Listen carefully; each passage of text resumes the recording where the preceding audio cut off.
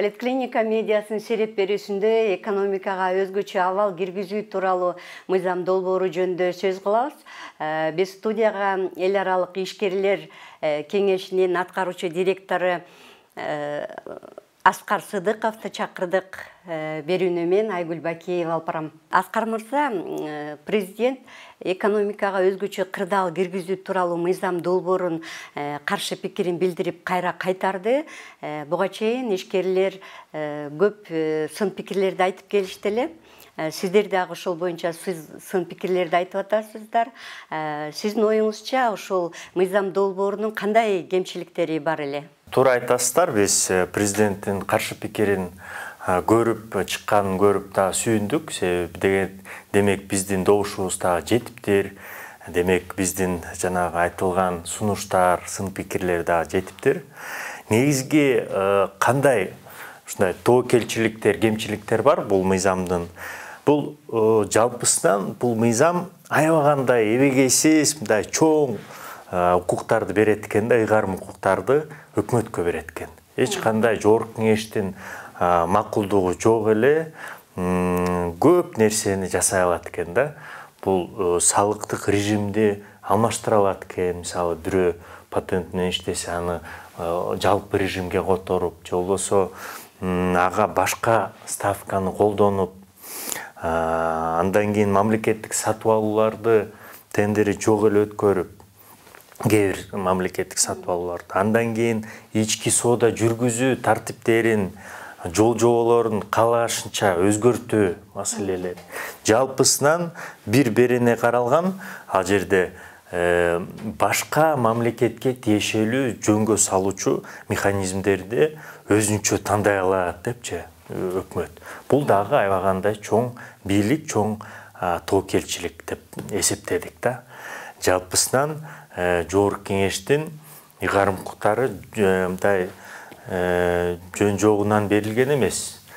Мамлекетте ушундай баланс болушу керек. Өкмөттү жогорку кеңеш чакырып алардан отчет сурап мыйзамдарды кабыл алып туруш керек да. Болбосо ал баланс ураса өкмөткө өкмөт өз укуктарын башкача пайдаланып бир кыянаттык менен пайдаланышы мүмкүн да өз укуктарын. Өкмөт ошондо бул мыйзам долбоорун киргизүүгө ушул экономикадагы азыркы абал абал шарт түзүп атат деп айтылып атат э ошол ушул мыйзам долбоору менен ошол абалды оңдоого болот беле? Биз айтаарыбыз ошондо дагы айтканбыз э, талкуу жүргүзгөндө. Азыркы учурдагы мыйзамдар экономиканы оңдогонго толук мүмкүнчүлүк берет да. Азыр дагы ал мүмкүнчүлүктөр бар болгону алар пайдаланылбай жатат да. Мына биз экономиканы оңдойт элек өстүрөт элек инвестиция алып келет элек долбоорлорду ишке ашырат элек. Бирок мына мыйзам жол бербей жатат дегени биздин оюбузча толук мындай туура эмес да себеби азыр дагы ал мүмкүнчүлүктөр бар. Азыр дагы э, мамлекет э, өз сунуштарын берип мынакей жогорку кеңеш э, айлап карабайт мурдагыдай бир күндө эле кабыл алат мыйзамдарды кааласа мыйзамдарга өзгөртүүлөр керек болсо сунуштасын жогорку кеңешке эмне үчүн эч кандай жогорку кеңештин макулдугу жок эле иш жасашы керек деген сөз да. Дагы бир белгилей турган нерсе бул э, ал мыйзам долбоордо э, эгерде мамлекетке ким кимдир бирөө карызы бар болсо бир ишкана ошонун ошол карызды э, үлүшкө айлантуу механизми каралган да. Демек бирөө сизге сиз бирөөгө жакпай калсаңыз мисалы деп коелу эртең эле ошол салык кызматкери келип туруп кошумча салыкты эсептеп туруп сиз аны төлөй албай калсаңыз мамлекет демек сиздин ишканаңыздын үлүшүн ала алат экен да. Бул дагы туура эмес да мамлекет жеке ишкананы өзүнө алып коюу мүмкүнчүлүгү түзүлөт э түзүлмөк да бул аябагандай чоң бийлик биз бизде он миңдеген ишканалар бар. Жүз жүз миңдеген ишканалар бар. Алардын ар кандайын каалашынча мындай үлүшүн алып алса болот экен да. Бул аябагандай чоң мүмкүнчүлүк бийлик ошон үчүн айттык. Жок андай мыйзам болбой калат. Келгиле эгерде сиздерге чындап эле кандайдыр бир майда мыйзамдын мүчүлүштүктөрү жол бербей жатса аны айтып туруңуз. Алып чыгыңыз. Мына ушул мыйзамдын мүчүлүштүгү бар. Ошону оңдойлу депчи. А бул жерде аябагандай жалпылашылган деп койсок болот мыйзам. Баардык ыйгарымдуулуктарды берет бирок өкмөттүн планы өкмөттүн жасай турган иштери белгисиз да. Алдын ала чыгарыш керек болчу. Мынакей ушул ушул иштерди жасайт элек ушул ушул беренелер жол бербей жатат ошолорду оңдойлу депчи а бул жерде аябагандай чоң жол ачылып жатат эртең башка өкмөт келсе кыянаттык менен пайдаланбайбы деген ой жаралды да ошон үчүн биздин оюбузча президенттин администрациясы дагы карап өзүнүн каршы пикирлерин президентке сунуштап президент дагы ал каршы пикирлерге макул болсо керек анан ошол жогорку кеңешке жибериптир да өзгөчө абал киргизүү бул мындай убактылуу гана чара болуп калмак да э мен кичине толуктап коеюн бул өзгөчө абал эмес өзгөчө кырдаал себеби абал менен кырдаалдын аябагандай чоң мааниси бар экен мыйзамдачы мыйзамда абал өзгөчө абал согуштук абал бул бөлөк бир укуктук режим.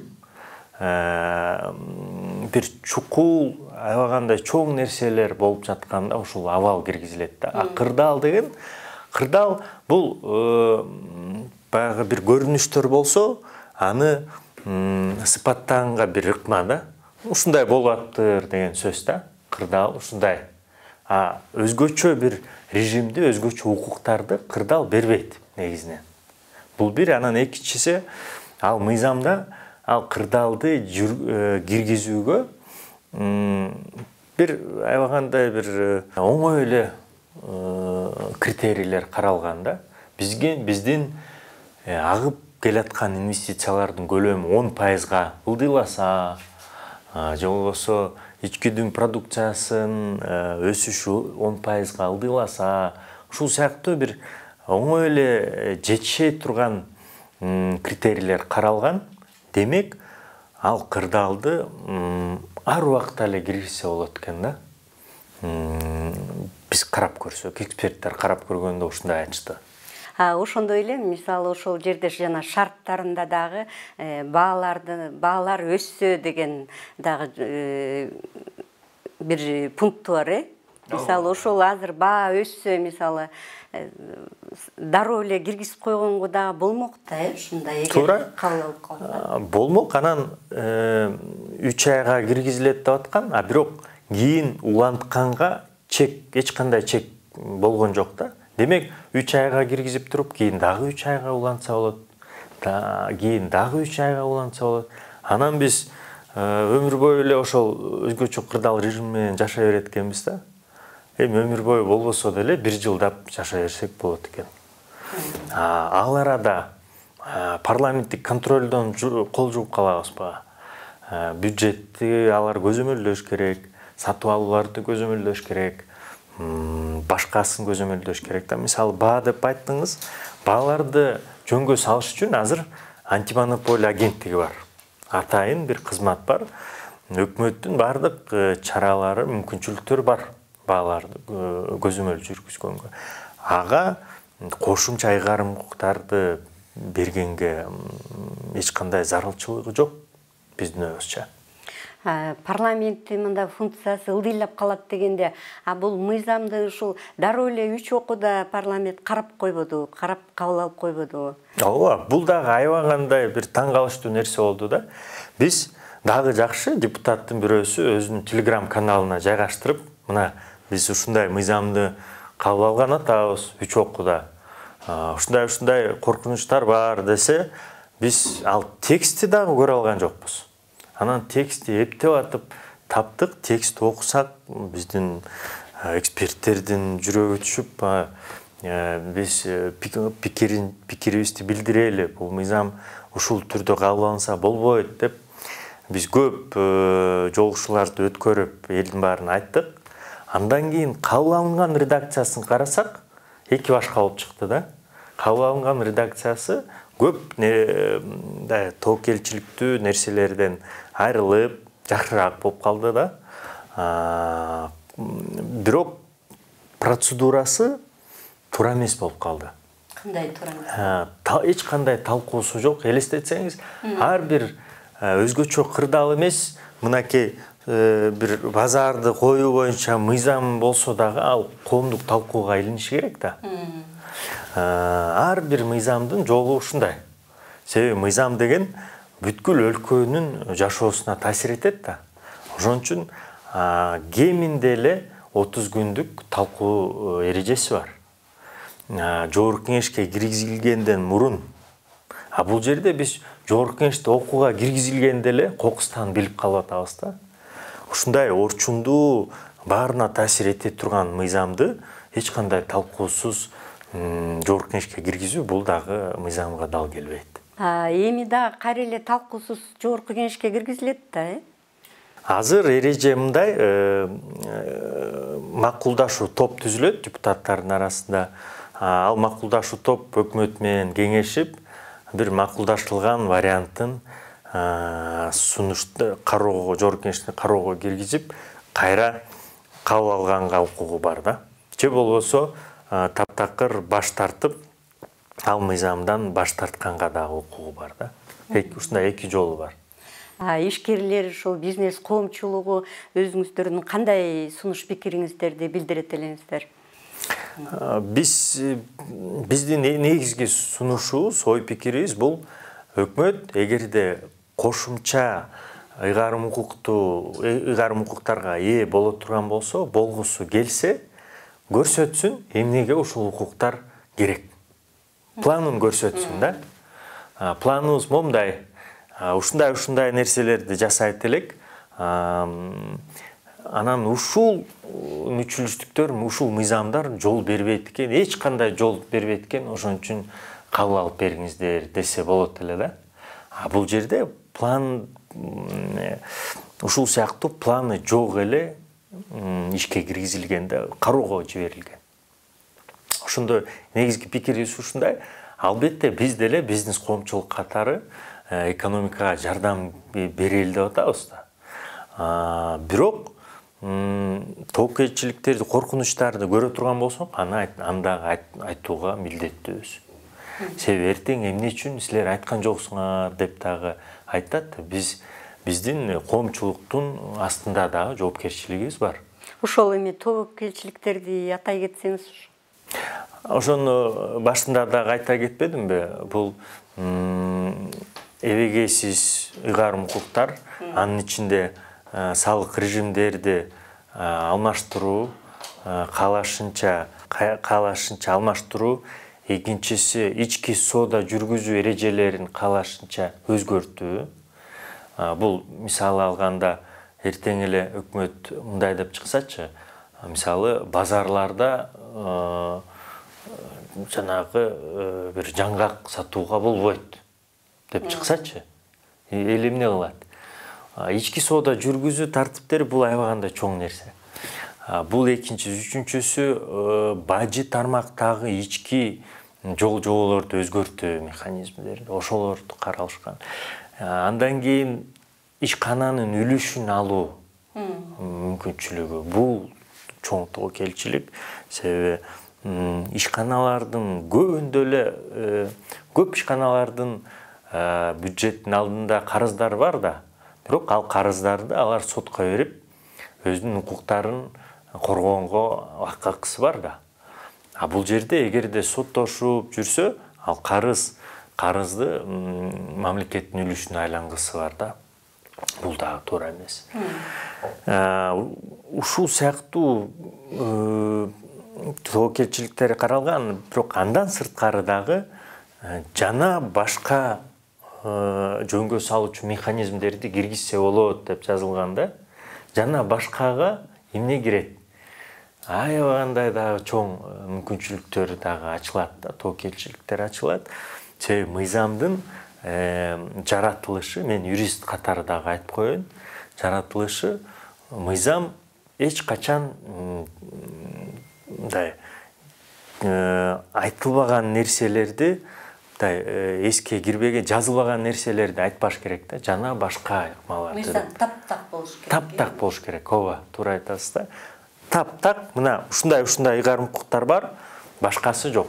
Негизги мыйзамдын принципи ушундай мамлекетте мамлекеттик органдарда эмне мыйзамда жазылса ошондой укугу бар башкасы жок а элде эгерде мыйзамда жазылганы тыюу салынса ага тыюу салынат а башкасын жасай берсе болот да. Ушундай эки принцип бар. Элге жазылбагандын баары болот.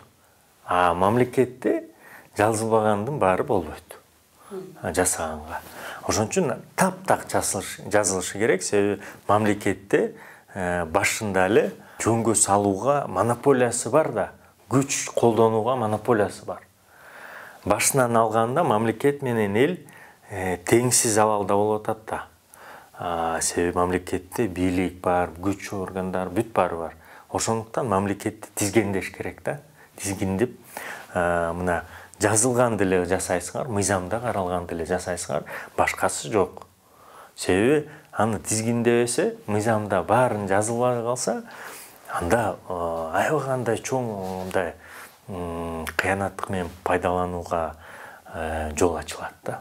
Дүйнөдөгү башка өлкөлөрдө деле ушул сыяктуу мыйзамдар иштеп кеткен эмес турбайбы э ооба мына бизнес омбудсмен институту талдоо жүргүзүптүр алар айтып атышат ушул сыяктуу мыйзамдарды мындай артта калган өлкөлөрдө эле байкап калдык деп атышат да. Венесуэла дейт судан. Эфиопия дейт ливан мындай согуш жүрүп жаткан аябагандай орчундуу кризис болуп жаткан өлкөлөрдө колдонуптур да ушундай алдыңкы өлкөлөрдө андай колдонулган эмес бул дагы аябагандай чоң сигнал да эмне үчүн биз артта калган өлкөлөрдүн ыкмаларын колдонулган атабыз? Эмне үчүн алдыңкы өлкөлөрдөн бир үлгү албай жатабыз деген сөз да биз мыйзам иштеп чыгуучулардан дагы сурадык. Көрсөтсөңүздөр кандай үлгүнүн негизинде ушуну алып чыктыңыздар иштеп чыктыңыздар депчи. Көрсөтсөңүздөр мыйзамдын маалым кат негиздеме болот да? Кагаз ушундай мыйзамды иштеп чыкканга ушундай ушундай негиздер алып келди. Биз ошону эсептеп көрдүк. Бул өлкөдө момундай тигил өлкөдө мындай деп жазылат да. Башкалардын тажрыйбаларын алып анан карап көрүш керек да э. Ооба ооба а бул жерде биз андайды көрө алган жокпуз да. Маалым катта эч кандай аналитика талдоо жүргүзүлгөн эмес да.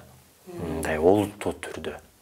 Ушундай олуттуу мыйзамдарды биз кылдаттык менен карап байкап анан кабыл алышыбыз керек болбосо артыкчылыктардан кемчиликтери көп болушу мүмкүн да. Ушу азыр ишкерлер коомчулугу ушу кандай кыйынчылыктарды көрүп атат кандай жашап атат? Кыйын эле э, жашоо себеби. Билесиздер дагы эле чек аралар э, чек араларда чектөөлөр бар дагы эле. Мына казакстан менен чек арада канчалаган э, машинелер груздар дагы эле токтолуп турат өткөрө албай. Кытай менен чек арада билесиздер. Тажикстан менен чек ара жабылган өзбекстан менен мындай салыштырмалуу жакшы чек ара өтө ушул чек ара маселелери андан экинчиси бул элдин сатып алуу мүмкүнчүлүктөрү жөндөмдүүлүгү дагы ылдыйлатылган билесиздер элдин капчыгы мындай басмырлап ылдыйлап жукка болуп көп ишкерлер өздөрүнүн товарларын кызматтарын сата албай калышты. А көбүнчө ишкерлердин көбүнчөсүндө эле кредиттери бар насыялар төлөй турган. Аны өзүнүн мүлктөрүн сатып эптеп туруп төлөп атышат да. Ушул сыяктуу кыйынчылыктар бар. Үчүнчүсү билесиздер суунун сууга суунун аздыгынан көптөгөн дыйкандарыбыз чыгымдарга учурашты тийиштүү түшүмдөрүн ала албай мына дагы эле кыйналып атышат. Кышында баалардын эмне болгону дагы белгисиз. Билесиздер жалпысынан баалардын өсүшү аябагандай чоң маселеге айланды. Күйүүчү май башка продукттар кызматтар дагы курулуш материалдар аябагандай кымбаттады да. Кээ бир учурда эки эсе кымбаттаган учурлар бар да. А бизде курулушта билесиздер канчалаган элдер иштеп атышат ушул сыяктуу кыйынчылыктар бар. Анан колдон келишинче баарыбыз э, ушул ишканаларды колдоп берели деп аракет кылып атабыз да. Колдон келишинче жумуш орундарды сактап калалы. И бир элдер өзүн өзү багып атса аларды жөн коелу керек болсо салыктардан бошотолу деп атабыз да. Ал жактан көп учурда мамлекет карабай э, кайдагы бир мыйзамдарды чыгарат да кээ бир учурда. Мамлекет анан мамлекет башчы ушу ишкерлерге жакшы шарт түзүп берели деп айтып жатат да. Ооба туура жакшы сөздөр айтылып жатат жакшы ойлор бар. Бирок аларды ишке ашырууда мүчүлүштүктөр бар да. Көп демилгелер токтолуп такалып кабыл алынбай жатат ишке ашырылбай жатат. Ошолорго биз дагы жардам берели деп иштеп атабыз да. Идеяларыбызды ойлорубузду айтып чыгарып ушуну кылсак болот. Мында ушундай өлкөлөрдө момундай жакшы нерселер болуптур ошондой жасабайлыбы деп сунуш киргизип атабыз бирок объективдүү дагы жагдайлар бар. Бул парламенттик шайлоо келатат. Шайлоонун э, даярдалышында албетте экономика дагы э, күтүп турат ишкана ишкерлер дагы күтүп турат шайлоодон эмне кийин эмне болот деп. Ошон үчүн ушундай объективдүү факттар дагы экономиканын ылдыйлашына дагы таасир этет да. Бул жылдын жыйынтыгында эгерде биз сегиз жарым пайызга өсө турган болсок болгону биз он тогузунчу жылдын деңгээлине келип калат экенбиз да. Себеби былтыркы жылы биз сегиз жарым пайызга ылдыйладык а бул жылы мына эл аралык уюмдар айтып атышат божомолдоп алганда биздин экономикабыз үч жарым пайызга өсүшү мүмкүн депчи демек биз он тогузунчу жылдын деңгээлинде деңгээлине жете албай калабыз жалпысынан биздин ишкер коомчулук активдүү мындай демилгелерди көп көтөрөт элибиз дагы мындай ишкердикке жөндөмдүү бирдеме жасагысы бар. Болгону биз аларга тоскоолдук кылбай тескерисинче шарт түзүп берсек көп иштер жыла турганда. Экономикадагы өзгөчө кырдаал тууралуу мыйзам долбоорунда дагы ушул э, ишкерлер айтып аткан ой пикирлер сунуштар эске алынса деп ишенели. Сиздер политклиника медиасынын э, сереп берүүсүнө күбө болдуңуздар биз экономикадагы өзгөчө кырдаал тууралуу мыйзам долбоору жөнүндө сөз кылдык. Э, биздин студияда мейманда эл аралык ишкерлер кеңешинин аткаруучу директору аскар сыдыков болду. Э, берүүнү мен айгүл бакеева алып бардым. Э, көрүшкөнчө саламатта болуңуздар